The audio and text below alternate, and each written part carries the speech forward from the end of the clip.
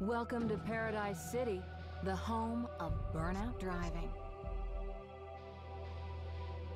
From the winding trails of White Mountain to the grid network of downtown Paradise, the city has miles of open road.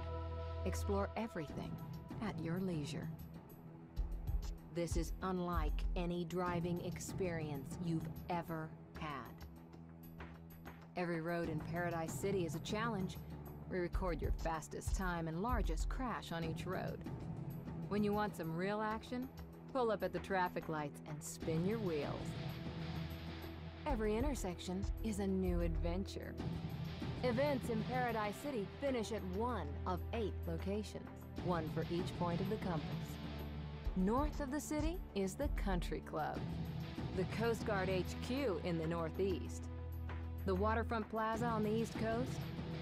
In the southeast, it's the Wildcats Baseball Stadium, the Naval Yard in the South Bay, Lone Stallion Ranch southwest of the city, the Wind Farm in the West Hills, and in the Northwest Mountains, it's the Observatory.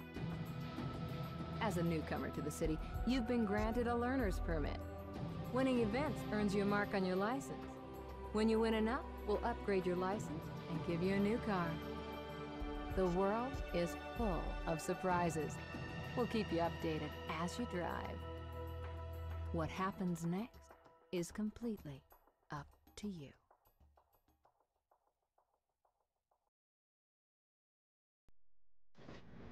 This is Crash FM, and I'm DJ Atomika, fresh from Radio Big to be your guide to the streets of Paradise City. First thing we need is a picture for your learner's permit. This'll have to do for now. If you had a USB camera connected, we could have used something more personal. This learner's permit lets you drive anywhere in Paradise City. The best drivers have a burnout driver's license, but you've got a lot to prove before you can earn one of those. Now, let's go to the junkyard to fix you up with a set of wheels. This Hunter Cavalry is all we have for you today. It's a stunt class car, which means it's built for jumps and spins. It's a good all-round car, though. Perfect for a newcomer like you.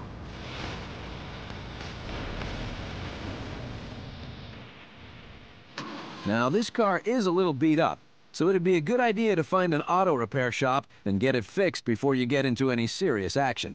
We've marked the nearest one on your map, here. It's just around the corner, on Angus Wharf. Okay, let's just check this thing still starts. Hold the accelerator to fire up the engine.